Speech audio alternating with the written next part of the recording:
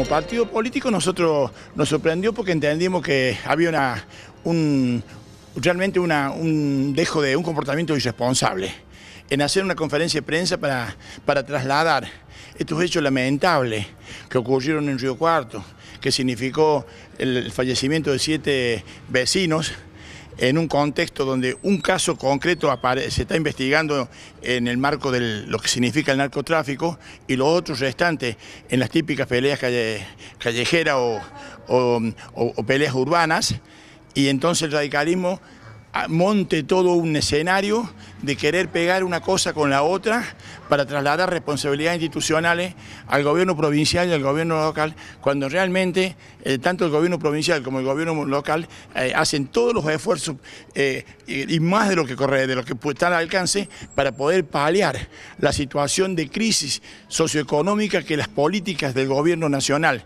donde el radicalismo forma parte de esa corresponsabilidad y que nada dicen porque nunca interrumpieron interrumpen el silencio para decir esto y no interrumpen el silencio para condolerse de los miles y miles de argentinos eh, en, todo, en, todos los ámbitos que están quedando en el camino como consecuencia de esta política de ajuste y de crisis social. No es casualidad que también Río Cuarto en particular eh, y, Córdoba en general es una de, las provincias y ciudades en particular que tiene el menor índice de homicidio.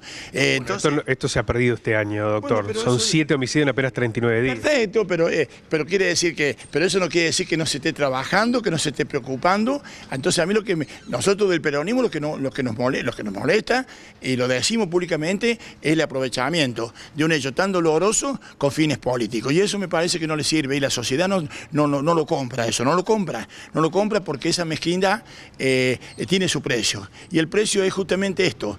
Eh, tanto el gobierno provincial como municipal hacen los esfuerzos para tratar de paliar los graves errores de conducción que tiene el gobierno nacional, donde el radicalismo forma parte, y nada dice y no se hacen cargo. Entonces, ¿qué pedimos nosotros? Coherencia.